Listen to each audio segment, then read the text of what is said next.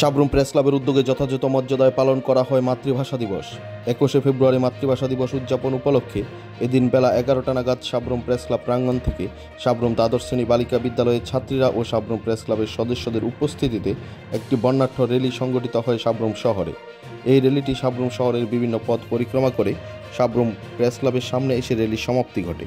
এরপর সাবরুম প্রেস ক্লাবের সামনে ভাষা দিবস উপলক্ষে একটি আলোচনা সভা অনুষ্ঠিত হয়। উক্ত আলোচনা সভায় প্রধান অতিথি হিসেবে উপস্থিত ছিলেন সাবরুমের মহকুমা শাসক বিধানচন্দ্র রায় ও সাবরুম নগর পঞ্চায়েতের চেয়ারপারসন রমা পোদ্দার দে সহ অন্যান্য অতিথিরা। উপস্থিত অতিথিরা প্রেস ক্লাবের সদস্যরা শহীদ বেদিতে ফুল দিয়ে শহীদের প্রতি শ্রদ্ধাঞ্জলি জানান। এরপরে বিভিন্ন সাংস্কৃতিক অনুষ্ঠানও অনুষ্ঠিত হয় এই সাবরুম প্রেস ক্লাব প্রাঙ্গণে। সত্যি আমাদের জন্য একটা বিশিষ্ট দিন। বিশেষ করে বিশ্বের বাংলা ভাষাভাষী মানুষের জন্য অত্যন্ত গর্বের দিন।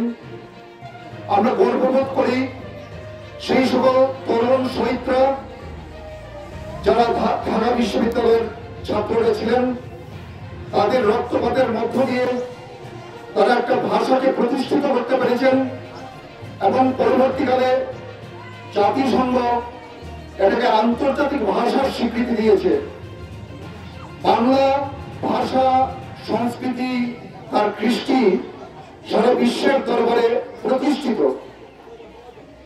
বাংলা ভাষায় এত সাহিত্যিক, কবি, বিজ্ঞানী, পণ্ডিত সমাজ এই বাংলা ভাষা আমাদেরকে দিয়েছে, যাদের জন্য আমরা গর্ববোধ করি।